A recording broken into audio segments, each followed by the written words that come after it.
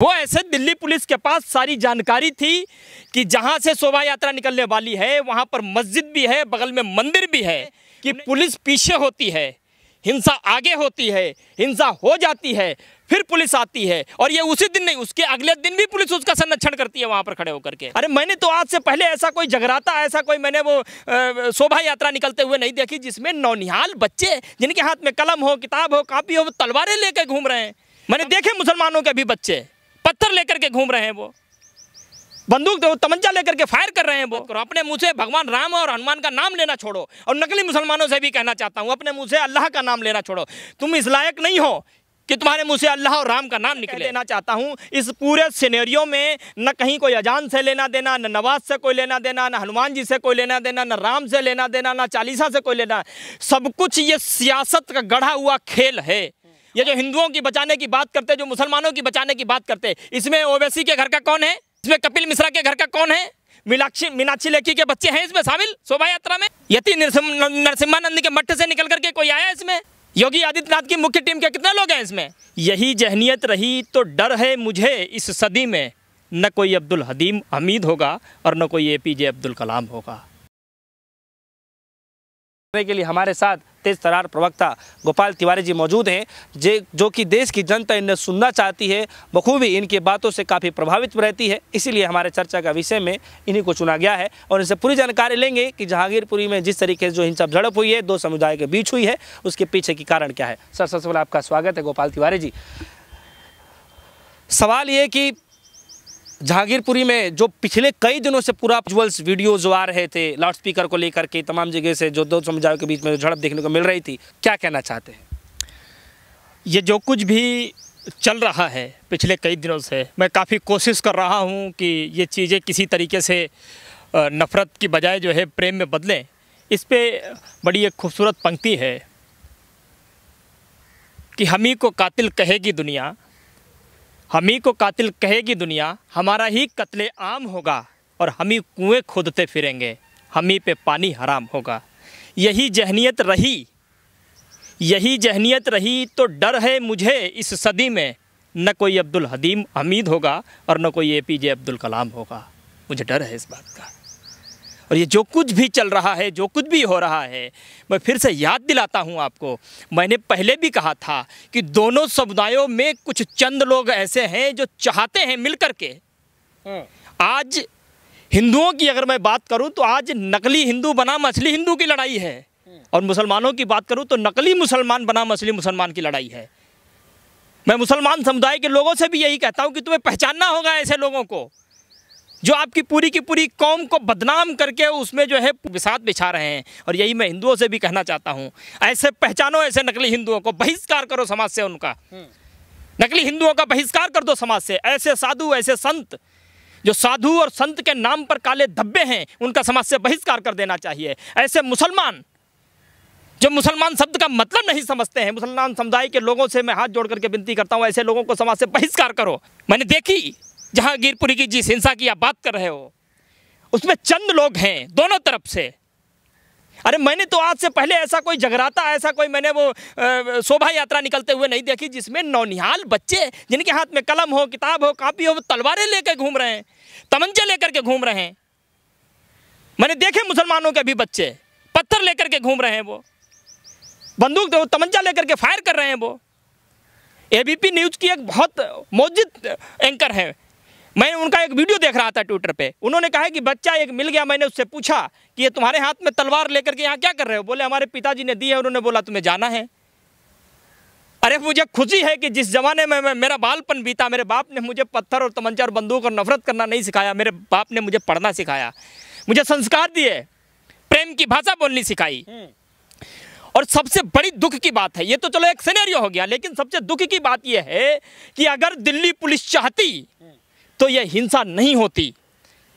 वो दिल्ली दिल्ली पुलिस वो ऐसे दिल्ली पुलिस के पास सारी जानकारी थी कि जहाँ से शोभा यात्रा निकलने वाली है वहाँ पर मस्जिद भी है बगल में मंदिर भी है। उन्हें यह भी मालूम था उस शोभा यात्रा वो जो जा रही निकल करके उसमें लोगों के हाथ में डंडे हैं, तलवार है, पत्थर हैं, दोनों समुदायों के बीच। पुलिस चाहती ड्रोन का सहारा ले सकती थी, एक पूरी टेक्निकल टीम तैयार कर सकती थी, आगे पीछे उसको जो है वो मॉनिटर कर सकती थी, और चाहती तो पुलिस आगे होती, पीछे होती, बीच में होती हिंसा नहीं होती। लेकिन दुर्भाग्य की बात यह है कि पुलिस पीछे होती है, हिंसा आगे होती है, हिंसा हो जाती है, फिर पुलिस आती है, और ये उसी दिन नहीं, उसके अगले दिन भी पुलिस उसका संरक्षण करती है वहाँ पर खड़े होकर के। ये हैरानी की बात है। तो महाराज पुलिस पे ही जब पथराव हो जा रहे हैं तो इसको लेकर के क्या कहना चाहिए अरे तो तुम शांति से वहाँ पर खड़े हो तो भीड़ जो भीड़ जो होती है वो हिंसक होती है और हिंसक भीड़ ये थोड़ी देख रही है कि ये खाकी है। वो चल रहा है पत्थर चलेंगे किसी के ऊपर और दूसरे दिन भी वहाँ वो प्रोटेस्ट दे रही है। और ये बात मैं नहीं कह रहा हूँ कई सारे रिटायर्ड डीजीपी उन्होंने ये बयान दिया है। अब मेरी बात तो हो सकता है कि किसी को अखर जाए डीजीपी की बात थोड़ी अखर जाएगी आपको। उत्तर प्रदेश के ही डीजीपी ने ये कहा है अगर चाहती दिल्ली पुलिस तो ये कुछ भी नहीं होता तो इस तरीके के जो जो देश में जो है एक बढ़ती सांप्रदायिक जो हिंसा बढ़ रही है उसके पीछे का कारण माना जाए तो क्या हो सकता उसका है? कारण सीधा है कि आज मंदिर चुप है मस्जिद चुप है हाँ। आज मंदिर चुप है मस्जिद चुप है नफरत बोल रही है और कुछ सियासत अपने फ़ायदे के चक्कर में भाईचारे में नफरत घोल रही है जहर घोल रही है सीधा सा मतलब है। ये जो कुछ भी हो रहा है, मैं फिर से कह देना चाहता हूँ, इस पूरे सिनेरियो में न कहीं कोई अजान से लेना देना, न नवाज़ से कोई लेना देना, न हनुमान जी से कोई लेना देना, न राम से लेना देना, न चालीसा से कोई लेना। सब कुछ ये सियासत का गढ़ा हुआ खेल है। और इस सियासत के गढ़े हुए खेल में तमाम वो नौनिहाल बच्चे ले आकर के खड़े कर दिए। मुझे बताओ, ये जो हिंदुओं की बचाने की बात करते, जो मुसलमानों की बचाने की बात करते, इसमें ओवैसी के घर का कौन है? इसमें कपिल मिश्रा के घर का कौन है? मीनाक्षी मीनाक्षी लेखी के बच्चे हैं इसमें शामिल शोभा यात्रा में? कपिल मिश्रा के बच्चे हैं शामिल इसमें? यति नरसिम्हानंद के मठ से निकल करके कोई आया इसमें? योगी आदित्यनाथ की मुख्य टीम के कितने लोग हैं इसमें?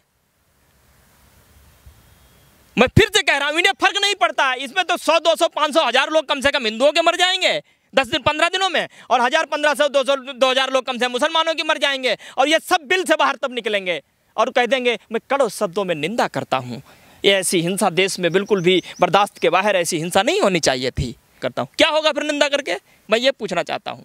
तो आखिर ये सवाल उठ रहा है कि ये शोभा यात्रा निकलती है और शोभा यात्रा में जो है कई सारे विजुअल्स ऐसे हैं जो छोटे छोटे बच्चे भी उसमें मतलब शामिल हुए हैं और हाथों में इस तरीके से मतलब बहुत सारे जो चीज़ें हैं, जो तलवार है, इस तरीके तमाम चीज़ें जो हैं उनके हाथों में रहती देखने को मिलता है।